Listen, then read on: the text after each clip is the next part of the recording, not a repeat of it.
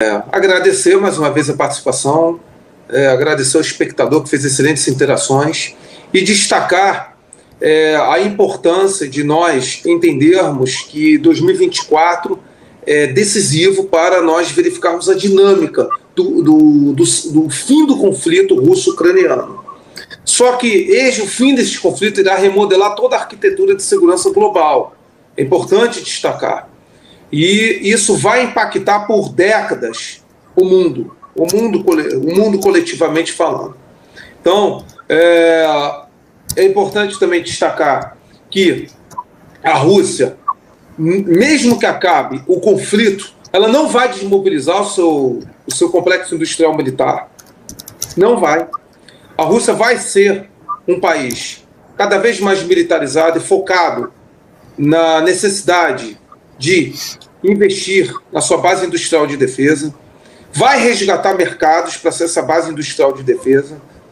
É, a Rússia hoje ela tem operando em três, quatro turnos, de acordo com o estudo nosso, isso está no História Militar e Debate, no artigo nosso, 900 empresas operando em três, quatro turnos. A planta da KNACC da Surroi vai contratar mais 800 empregados esse ano. E aí vai falar a dívida fiscal. Não sou eu que estou falando, o FMI estabeleceu que a dívida pública russa em 15 a 16% do PIB. O FMI previu um crescimento em 3,2%, porque houve uma revitalização industrial muito forte. E a dívida pública ela consegue amortecer esse investimento público, essa subvenção pública. E uh, o aumento do preço do petróleo e a burla das sanções ocidentais beneficiaram, portanto, a sustentabilidade econômica da Federação Russa.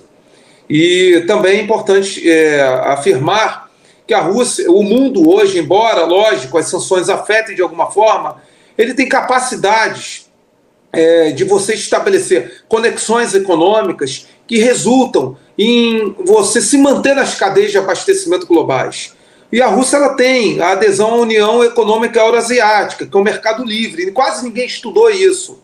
É uma, é uma união fedegária comercial, com isenção de vistos entre o Cazaquistão, a Armênia, que está cada vez mais próximo Ocidente saindo, mas que tem o Tadjiquistão, o, o Uzbequistão observador, o Irã agora aderiu, o Quirguistão e a Bielorrússia. E esses países não são sancionados. Então, consequentemente, as cadeias de abastecimento globais elas acabam aderindo à Federação Russa. E para finalizar, a parceria estratégica limitada com a China, que já é considerada a maior economia mundial por paridade de poder de compra e detentora de 80, 77 é, tecnologias-chave em vanguarda das 84 na Revolução Tecnológica Quaternária.